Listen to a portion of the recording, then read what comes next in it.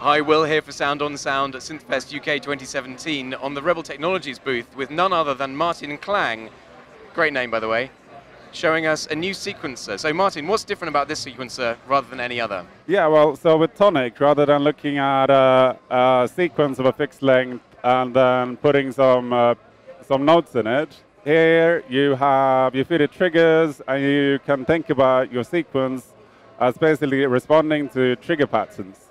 And then for each trigger input, you have an interval, and the uh, number of possible note combinations grows exponentially with the number of triggers that you feed it. I think we're going to have to see how that works. Which is we? a lot easier to see in practice than uh, than imagining in um, in theory. Yeah, you got half a semitone down, notes up, and then they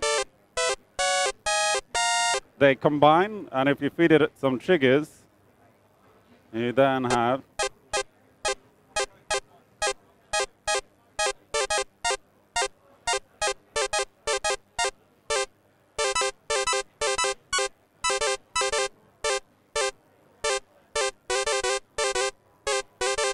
and the number of possibilities goes up with every trigger that you add.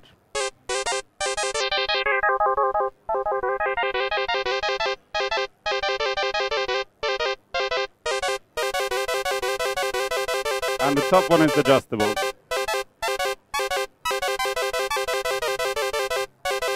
Okay, great. Martin, how much is it going to cost then, and when will it be available? Yes, it's available now, and the retail price is £125. Okay, great. Thanks very much.